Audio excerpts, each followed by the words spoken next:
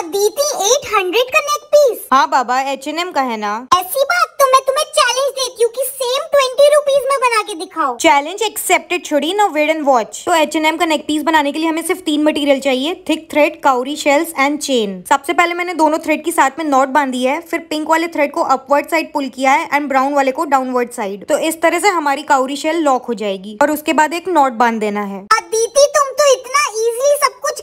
बना लेती हूँ यार चैलेंज किया ना तुमने बेटा अब देखती जाओ अदिति तुमने तो दिल पे ही ले लिया हाँ हाँ देन हमें सेम चीज रिपीट करना है शेल ऐड करके नोट बांधना है इसे हम एंड तक करेंगे और एक्स्ट्रा थ्रेड काट देंगे नाउ इट्स टाइम कि हम उसमें चेन अटैच करें जिसके लिए मैं जंप रिंग्स यूज कर रही हूँ बिकॉज मेरा थ्रेड छोटा था इसलिए मैंने सिर्फ सिक्स शेल्स ही अटैच की है और छठी क्या बोलती है पब्लिक अदिति सच बोलो तो मेरे पास लव ही नहीं बचे बस एक ही चीज कहना चाहूंगी सारी दुनिया में जी